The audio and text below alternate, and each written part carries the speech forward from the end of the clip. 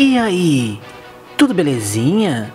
A escolha da profissão é uma das escolhas mais importantes na vida de uma pessoa. E nós, já quando crianças, costumamos sonhar com várias coisas, pois, como há um grande número de profissões no mundo, as crianças escolhem uma variedade muito grande de opções nas suas cabeças. Me diz aí, algum de vocês alguma vez quis ter uma profissão que poucas pessoas no mundo têm? Pois é, no mundo existem profissões que são muito diferentes e que poucas pessoas conhecem.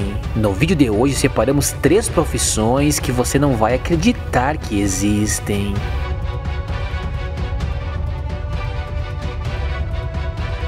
Número 3 testador de tobogã. Se você quer conseguir um trabalho realmente legal, terá que mostrar o seu melhor ao empregador. Esse é um processo natural e não tem nada de diferente nisso. No entanto, Sebastian, um estudante de engenharia, não esperava que concorreria com tantas pessoas. Cerca de duas mil pessoas por uma vaga de testador de tobogã. Isso mesmo que você ouviu. Bastante gente gostaria de ter essa profissão. Afinal, tem que andar em atrações aquáticas o dia todo e é um trabalho que muita gente gostaria de ter, pois parece bem divertido e ainda ganhando bem. O Sebastian acabou fechando um contrato de seis meses e recebeu 20 mil libras por isso.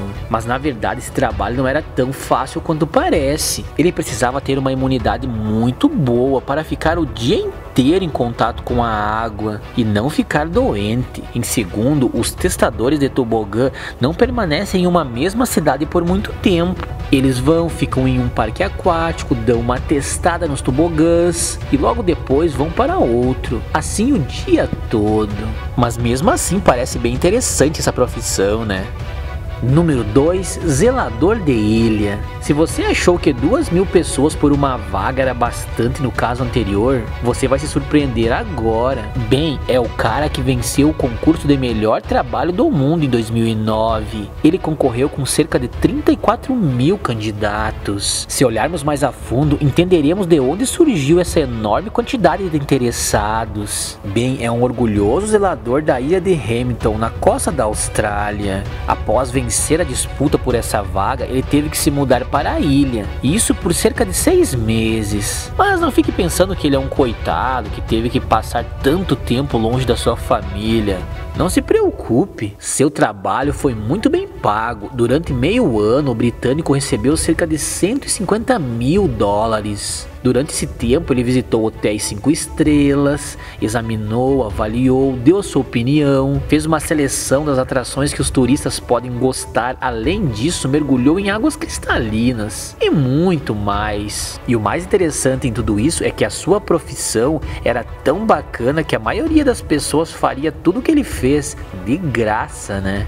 Número 1, um, alpinista eletricista. Se falarmos que existe uma profissão na qual a única obrigação é trocar uma lâmpada a cada seis meses, você provavelmente acharia que esse trabalho paga muito pouco, né? Pois teoricamente se trabalha pouco, mas não. Esse trocador de lâmpadas ganha super bem, cerca de 20 mil dólares, bem mais do que o seu trabalho te paga, né? Mas obviamente que ele ganha esse valor por causa do risco da sua profissão.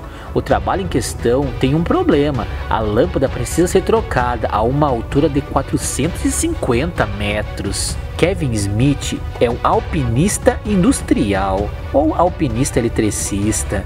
Esse trabalho requer muita força física, resistência e, obviamente, não ter medo de altura, né? Quando uma lâmpada queima em uma torre de televisão em Dakota do Sul, nos Estados Unidos, ele é chamado para subir até o topo para trocar. Pois é, ele passa nas alturas todos os dias em outras partes da região, mas nessas torres ele sobe a cada seis meses apenas. Para você ter noção da altura, ele leva cerca de duas horas para subir e duas horas para descer. Mas segundo ele, ele ama seu trabalho e até gosta de fazer algumas selfies no topo para mostrar o seu dia a dia. Teria coragem de trabalhar assim? Eu não.